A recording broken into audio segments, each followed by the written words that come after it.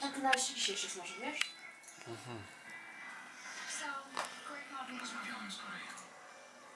Mówił, że nasz rozwód był błędem i chce odzyskać rodzinę.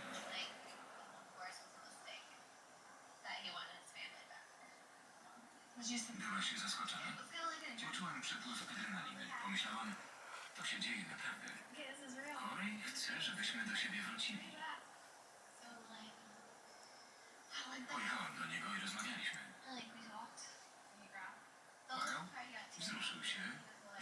Była żona przyprawia go o motyle w brzuchu.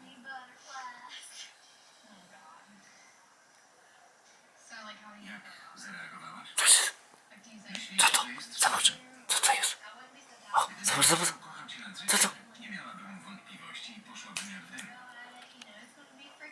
Ale on mówi, że nie może mi niczego obiecać, bo sam nie wie, co czuje.